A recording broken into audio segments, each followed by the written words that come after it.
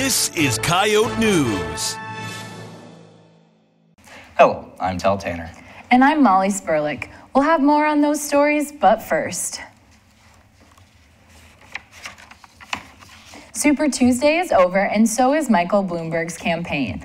Bloomberg dropped out of the Democratic primary race this morning. 14 states held their primaries or caucuses yesterday to determine which Democrat will run against President Trump in the fall general election. Former Vice President Joe Biden won the most states with nine, including Texas. But Senator Bernie Sanders won the state with the most delegates, California.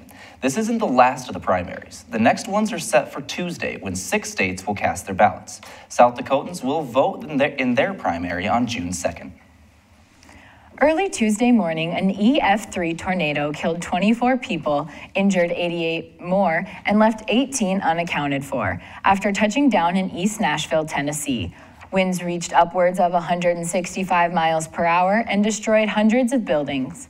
Wreckage continues to be searched for the missing people before the rebuilding process begins. South Dakota representatives are working on a new law that could make drivers on the road a little safer. House Bill 1169 was passed last month. It bans drivers from using cell phones and other electronics behind the wheel. Some electronics that cannot be used include cell phones, tablets, laptops, and pagers.